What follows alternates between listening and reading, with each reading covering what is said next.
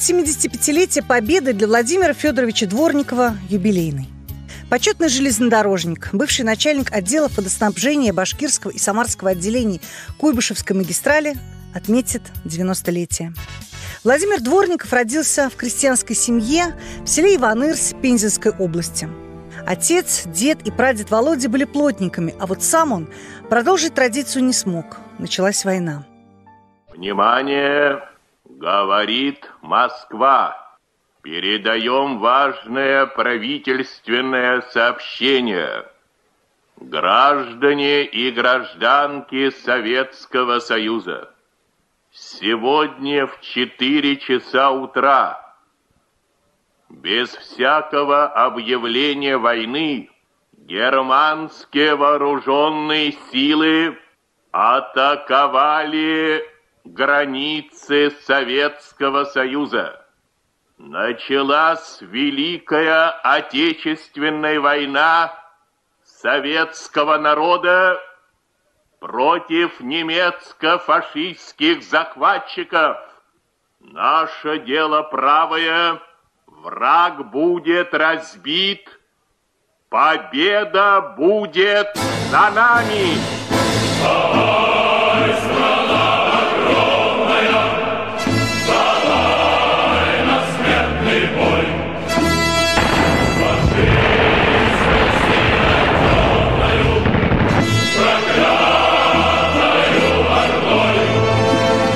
Четыре класс закончил, и вот эта, эта война, мы все настроен был на отдых, на гуляние.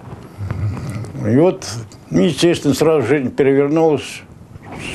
Взрослые все ушли на фронт, а мы, старики, женщины, дети малые остались, должны были, не должны, а заменили ушедших на фронт.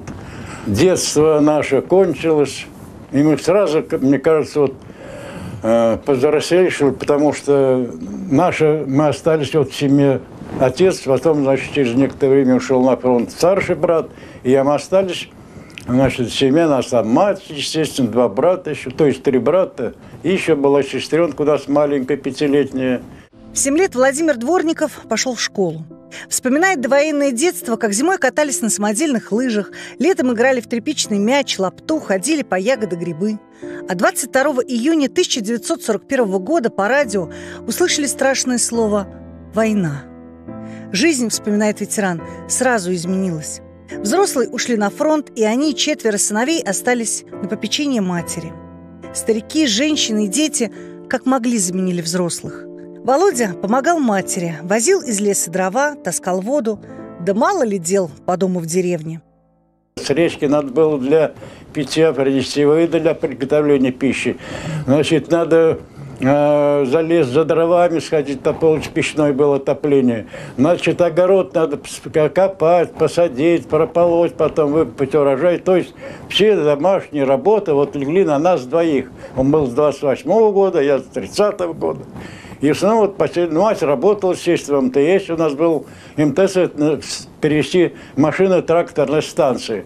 Значит, работали и на прополке, на значит, посеве, на уборке урожая, там хлеб зерновых, э, овощных культур и сенокос. И хочу, что самое главное, вот запомнить, почему вот эту работу нас тянуло, знаете еще почему?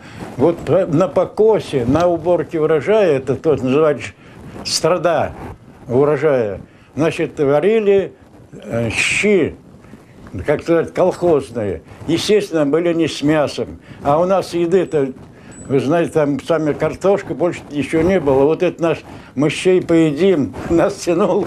Хотя, ну и работали, конечно, мы не, как сказать, не считаясь ни со временем, с чем.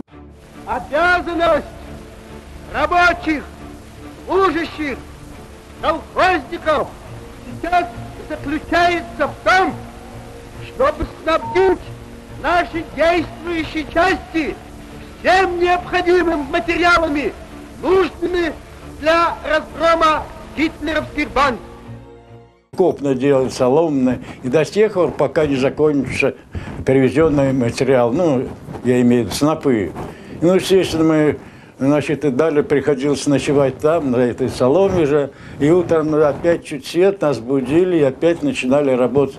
Мы не забыли, что такое выходной, что такое праздник.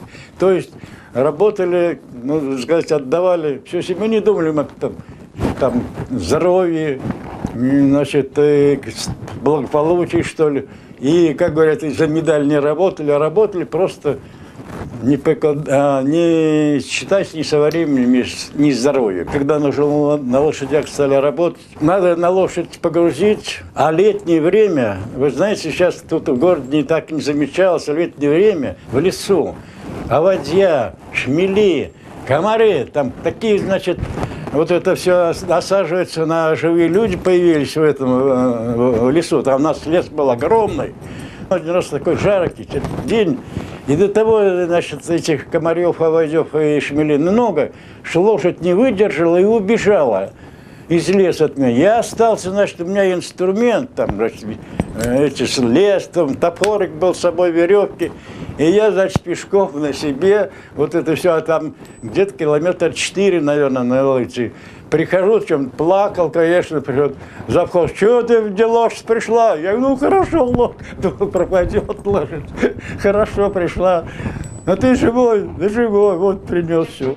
Мужская половина семьи ушла на фронт, а женская и детская вела свою войну за выживание в голодном колхозе. Войну было очень тяжело, но мы были детьми, говорит Владимир Федорович, поэтому нам удавалось забывать о том, что идет война. Отвлекались в игре, а вот взрослым приходилось тяжелее. У них главная забота – детей накормить. Но жили при этом очень дружно. Наши воспитали, вот все нам бы любить к труду в первую очередь. Любовь к старшим, уважение.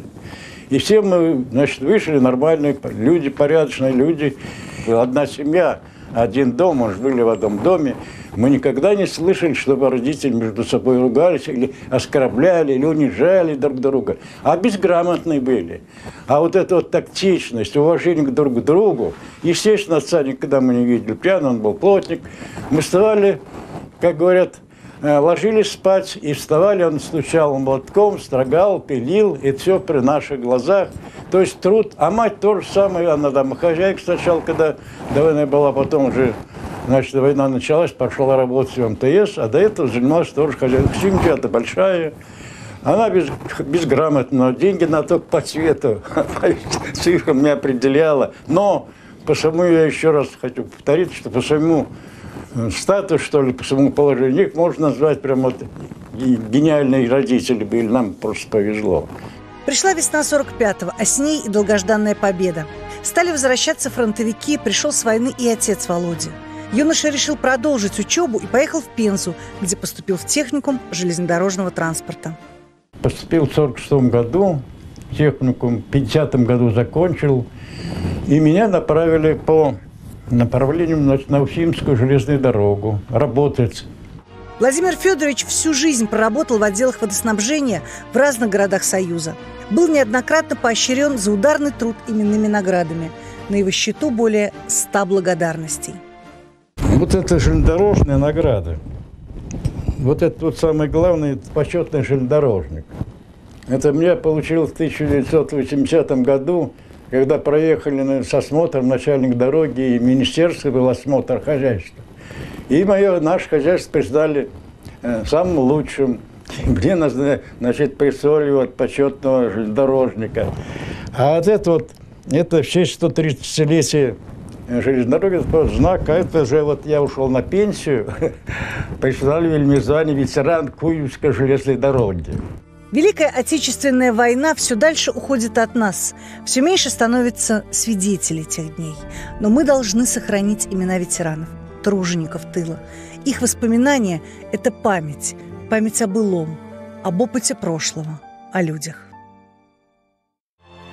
Самара достойна звания «Город трудовой доблести». К акции по сбору подписей может присоединиться каждый.